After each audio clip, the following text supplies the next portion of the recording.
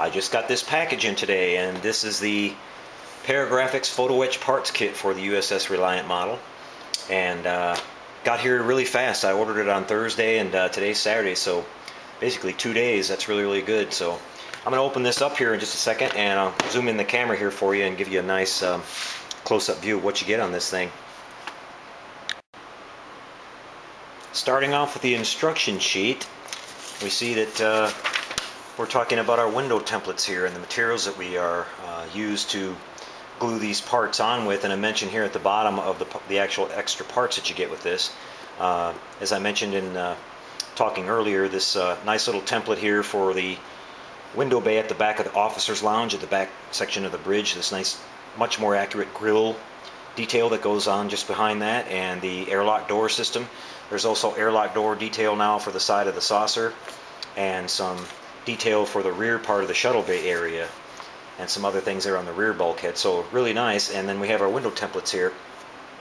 And what they're talking about is uh, they're talking about using a number three uh, drill bit, which is pretty pretty small. It's uh, it's about as small as you can go, and it'll work great in a Dremel tool. And you basically um, attach these onto the side of the hull here with some tape, and you just follow these lines here and drill these out. And you've got these kind of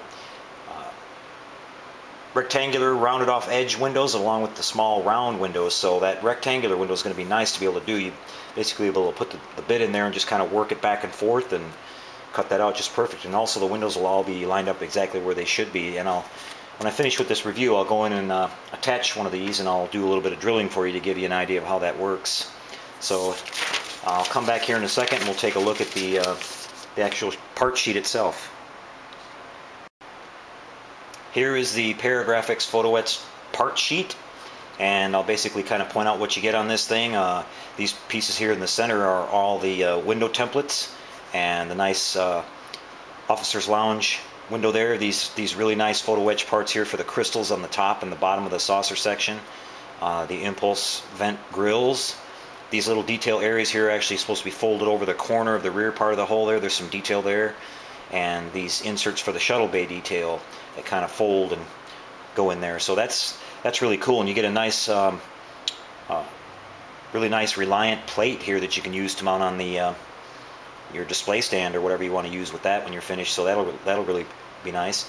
Uh, what I'm going to do now here is I'm going to go in and start taking a few of these out and uh, get one of these placed on the front of the um, saucer section here, and uh, we'll do a little bit of drilling and see how this window guide works. Be right back.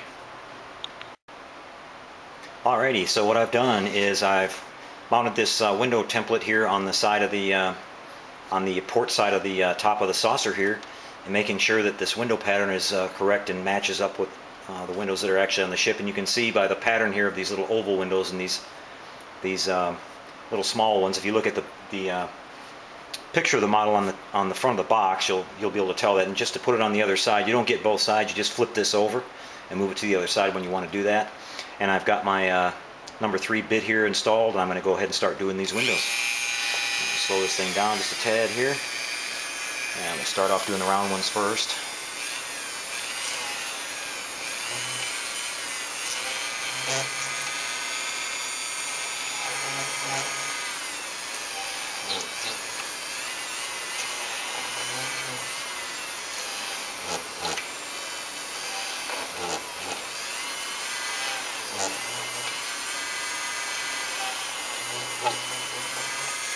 Okay.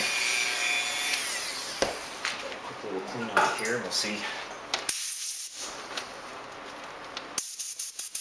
That's looking pretty good. I want to make sure I didn't miss anything. I can see that I did there. When you start getting the little crumbs on there, it starts getting kind of hard to see. Got this one at the top that uh, I missed. And I'll just kind of hit these again to clear them up a little. This is really nice. This makes this a lot, lot easier.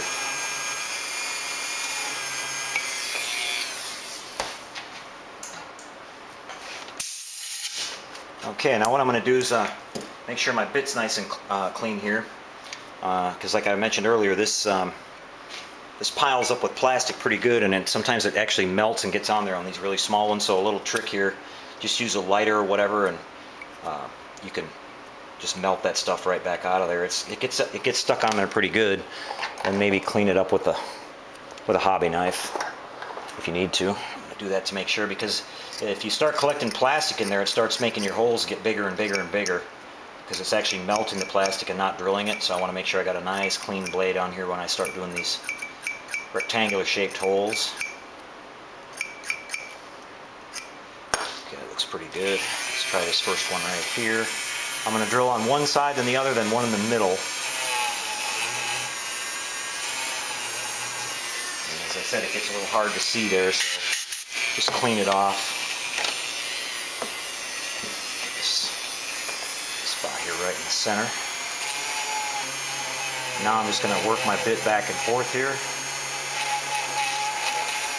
Just follow the outside edge of this template.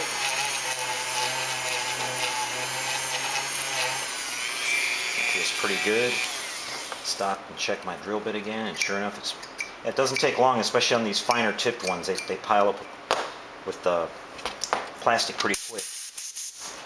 So just work your way through this. I'm going to go on here to the top one.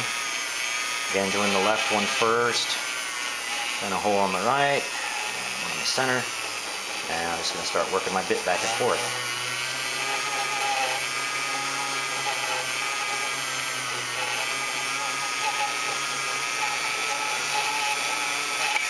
Okay, that feels pretty good.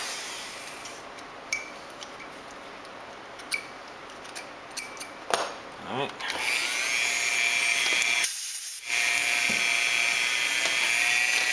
Alright, let's do this one here on the bottom. I'm going to hold this up a little bit so I don't drill into my mat.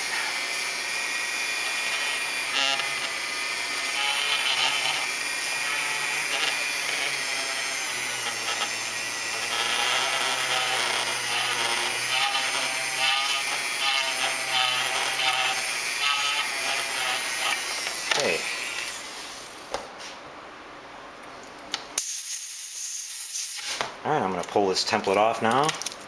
See what our area looks like. And you can see the oval windows are going to just need a little bit of cleaning up. I'll come back in here with a uh, with a hobby knife and just and run these down just a little bit, but I've got my my basic shape there that I was looking for, so that's going to come out really nice. This works perfect. And uh, maybe just a little bit of filing work to do in there, but these, these windows are all just perfect. I mean, they're exactly where they're supposed to be, and they're not overly large. Uh, there's another template for this area here, and then of course all the way around the uh, circumference of the saucer, so that's going to really be good. And they also include the one that to do your windows here at the uh, on B deck, I guess this is called, just below the bridge area. So it's a really nice kit. I just thought I'd give you guys a quick look at that and show you what you can expect when you get it and again another look at it. This is just a really really nice item here and um, like I said they shipped it really fast. I think it was around $23 not bad at all. It's really going to help this model with the detail when you add all this, this stuff that goes on the crystals and everything is really going to be nice and that being able to do the uh, the window now at the rear of the uh, this area here. And uh, I'll probably do a little bit of lighting behind that now to make it give it that effect of uh, being a room in there. So pretty cool stuff. Anyway, I hope you enjoyed that, and I highly recommend this one. I'll keep coming back with updates as we go, as our stuff comes in. I've got stuff coming in from Don's Light and Magic, uh, Voodoo Effects board for the navigation lights, and a few other things. So, hope you follow along, and until we see you again, everybody, happy modeling.